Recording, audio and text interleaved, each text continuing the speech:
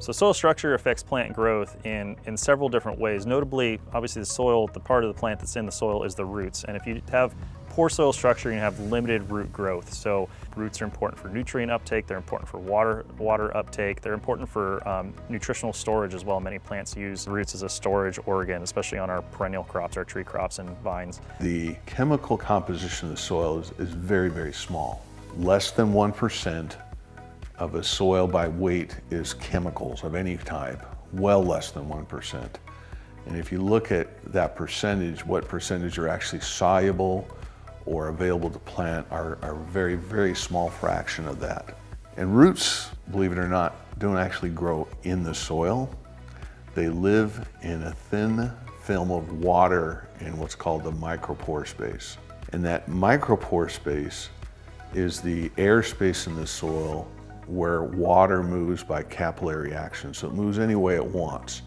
And so the, the roots actually live in there in a thin film of water.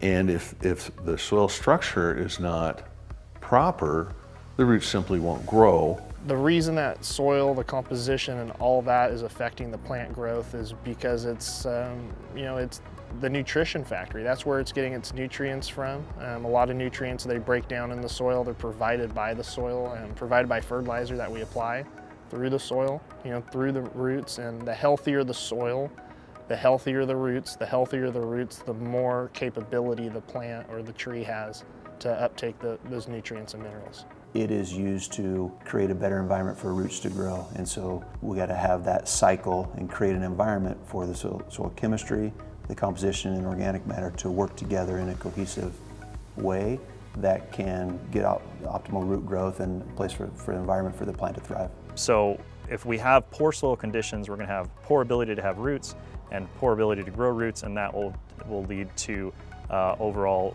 poor crop vigor.